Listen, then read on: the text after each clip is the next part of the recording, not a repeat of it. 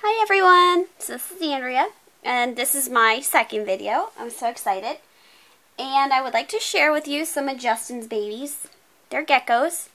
Um, they're southwestern banded geckos, and they're really cool. They're a lot like leopard geckos.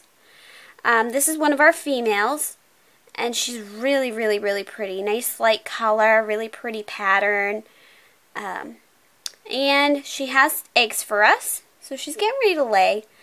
Uh, their tails don't get quite as fat as leopard geckos, but their feet are kind of cool. Their feet very similar to leopard geckos. Um, and they're a lot smaller.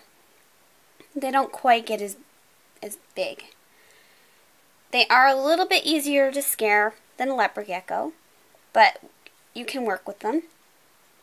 And they're kind of cool. They come from the west, like the midwestern, western part of the United States southwestern. Um, and they have lots of cool different patterns and colors. So that's our female. And then Justin also has a male. I think the male is pretty too. He, he's a little bit different. He has a little bit of a darker color to him. And he's a little bit feistier. Um, and like any gecko, he can drop his tail. I'm trying to get him out. And this is what he looks like. A little bit darker in color, di totally different pattern on the tail and on his back. Um, he's a little bit smaller than our female too. He's kind of pretty. But he's a little bit more skittish. He's not quite as friendly as our female. We haven't worked with him as much. I'm just too afraid he's going to drop his tail. And if you look, he has um, well, maybe you can't see it, but he has these little tiny uh, spore vents down here. And he's a definite male. He's very cute. Um, and then Justin and I also have some um, some Levises. Uh, I think we have a, a red phase pair, but I don't know if they're red phase or not because they're totally different than your typical Levis. Well, at least one of them is anyhow.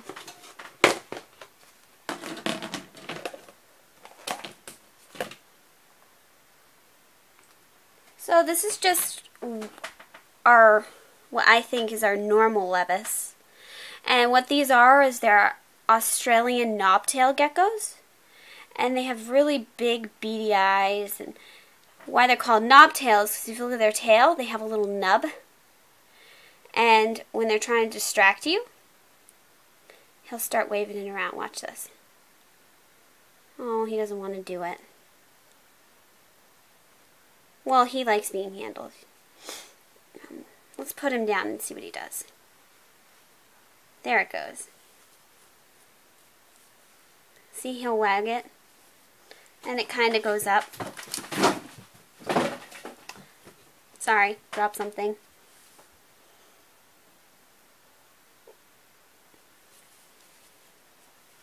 And they kind of just putt around and do their own little thing.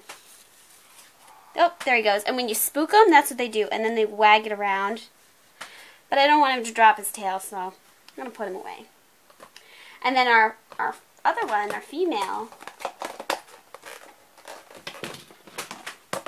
She's really pretty. She's like a really deep red.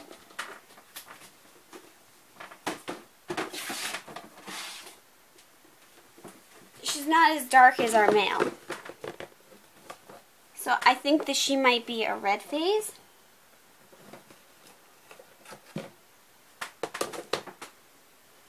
You see the color difference? Compared to the other one, she's nice and light. And again, she has the little nubby tail and the big beady eyes. And she's a little bit friendlier than our male. Oh, she just jumped. But you got to be careful with them too because they can't really judge distance. So they'll walk right off of your hand if you let them. Um, which we try not to do. We try and hold, make sure we have them with both hands when we hold them or handle them. And they come with like different patterns too. Some of them have different spotting. Um, it's kind of like a fingerprint. They have all kinds of different um, spotting so you can kind of identify your gecko, which is pretty nifty. And we do have one bearded dragon.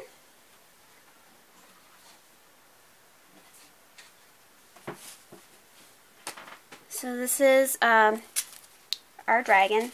She's a little, she's a little feisty. She doesn't like being handled. not sure why. But she's really fat. She's pretty fat. She likes to eat. She'll eat all her greens that we put in there. And she's a citrus to citrus. And I got her from Mikey at Sunshine Dragons. And he said that he got them imported from Germany. So she's 100% hypo and she's 100% het trans. So we're on the hunt for a really nice male to put to her when she's big enough for one to breed.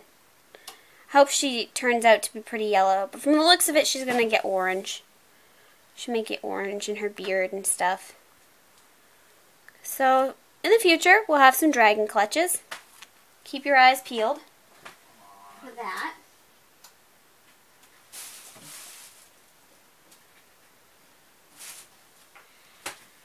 We also have horn toads. I know, I'm so excited. So for everyone who has been really excited about our horn toads and wants an update, here's an update. Um, we have socialized them and they're pretty social, actually. They really like to be pet. They're just as friendly as bearded dragons. Um, and for any of you who don't know my ant story, harvester ants are not my friend. I spilled them all over the place one time. It was a disaster.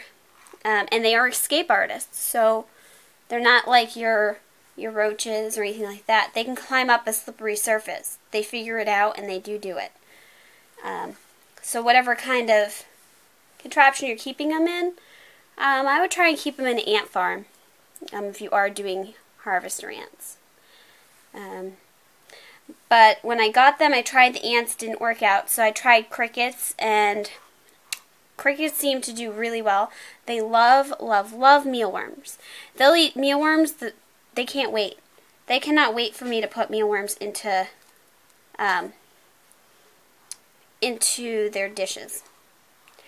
So what I've been doing was, see, they love to be held. Oh, come here, little bugger. So this is actually my female. What we tried was this stuff here, Repashy Formical Plus, and it is experimental. It's an experimental product. It says this product should be considered experimental. The requirements for dietary formic acid are unknown, and this product is designed to be a tool for research only. Use this product at your own risk. Formical Plus has a strong taste and may not be um, palatable to some species at full strength. If necessary, dilute with our Calcium Plus um, at decreasing ratios until accepted by the specimen or as your desire. Um, so that's what we've been using. And I've come to the conclusion that they are doing very well for me on that. They've been on it for about, I want to say they've been on it for about two and a half months, almost three months. No ants. And they're eating nice and fat and healthy. They've shed a couple times for us. And um, doesn't matter what we put in there, they eat it. Um, I also have a book on horned toads that I picked up at a reptile expo um, that talks about in the wild, they eat ants. That's their main dietary um, bug that they eat. But they also eat other bugs too. Uh, I know a lot of people are afraid of giving them crickets and, you know, excess and roaches and stuff because of the chitin levels. And for some reason their horned toads don't do well. Um, but mine are doing just fine on this um, Repashy Formical Plus. And we also dust it with the Calcium Plus too. So Justin puts it in this little container. So our mealworm container that we would get like from Petco. He puts it whatever we're going to dust in here. And he a formical.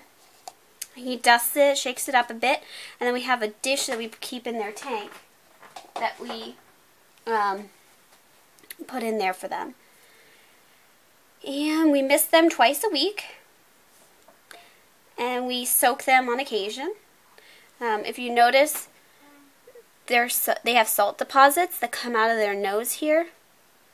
So um, we're probably going to have to give them another misting and soaking.